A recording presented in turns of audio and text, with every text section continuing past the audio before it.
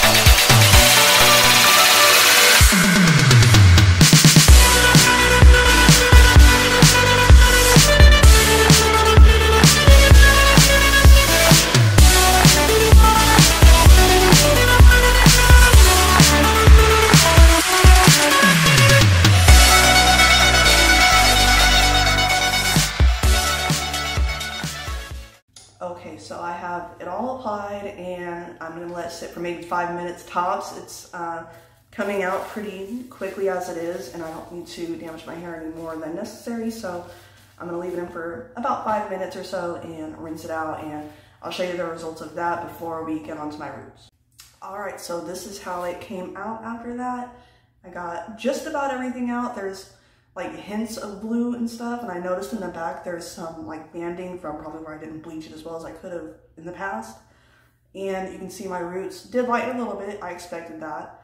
They're like a light, not a light brown, but like a medium brown with orange tones. That's pretty typical when you're uh, lightening darker hair like mine.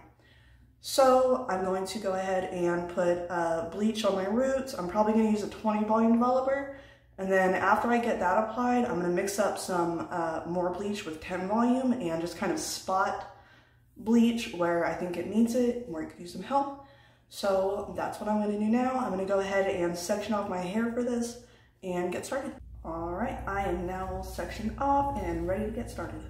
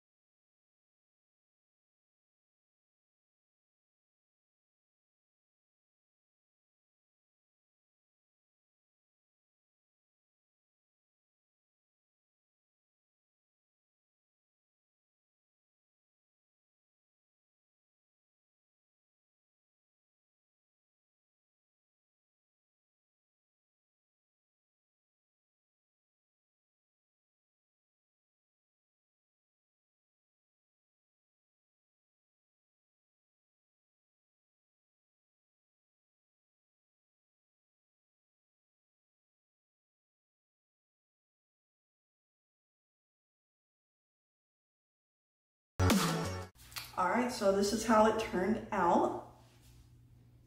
I left it on for about 10, 15 minutes, and I wish I would have left it on for maybe five minutes longer because my roots are still pretty yellow. So I think five more minutes could have made all the difference, but I still have time before our trip. So what I'm gonna do is in a couple days, I am gonna go back over this with a 10 volume and just leave it on for like five minutes or so, um, just to try to get it to the whiteness of the rest of my hair. So that's what my plan is. Um, that will probably also be in this video, so keep watching if you want to see that. Okay, so I have actually decided I'm not going to bleach my roots again. Uh, I'm actually going to just try to tone that uh, the rest of this yellow and stuff out, and however it comes out, it's just I'm going to live with it because it, it doesn't matter too much because uh, next week I'm going to be letting, well, I'm not going to tell you actually because next week I'm going to be doing something different with it. And so it's just not that important. I just want it to not look so yellow when we're on our vacation.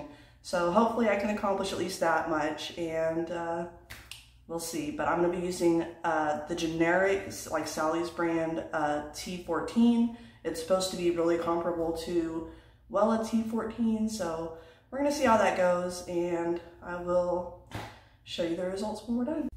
All right, I'm ready to get started and I'm gonna be starting from down here and doing my roots first because they're obviously the most yellow and I will probably go back through and do the rest of my hair because there are yellow tones like all over. Um, but I'm starting down here because it just feels like it makes the most sense. And I used a I used two bottles of it to make sure that I had enough because I always run out of stuff. My hair just drinks, drinks all this up typically. And I used for developer um, three bottles worth of 10 volume and one bottle worth of 20 volume. So if my calculations are correct, that essentially makes this a 12 and a half volume developer that I'm using and I'm hoping that will be good enough without making me take too much damage. We shall see.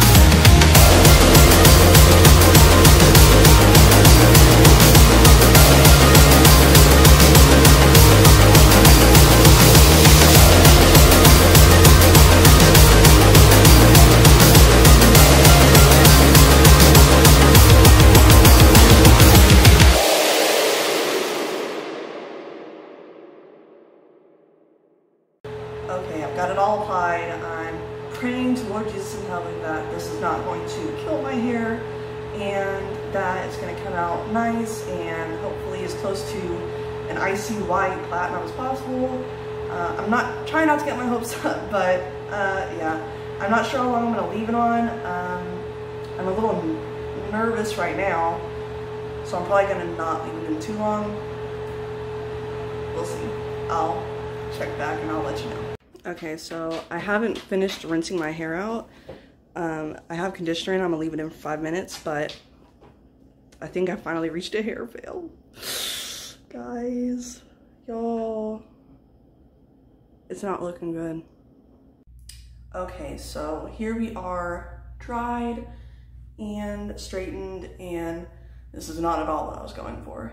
Um, I actually don't hate it. It looks a lot better dry than it did wet. I was kind of freaking out pretty bad because my roots looked really green while the rest of my hair looks really dark gray.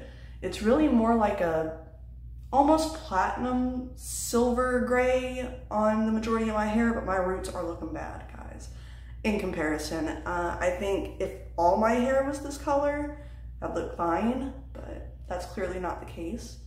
And uh, yeah, I have it part to the side now because I feel like it looks the least bad. I feel like it's it took the yellow tones out, but now it has like green tones. You know what I mean? Like, can you tell that? Or is that just in my head? I think there's some green tones on my roots, but it's worse where it was darker. Like you see all that? Ugh.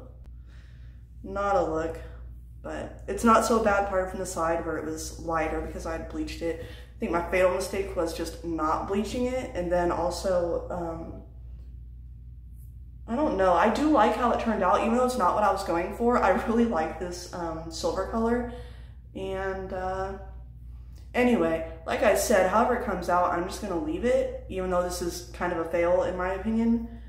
Um, so I guess my hair is going to be silver for the trip, not blonde.